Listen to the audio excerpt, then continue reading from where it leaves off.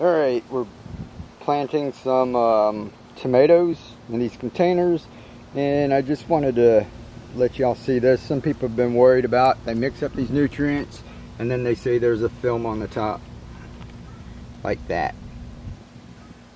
See it? Mine always does that. I've been doing this for about 10 years and all the growing you've seen on this channel every one of them kind of does that so it's nothing to be worried about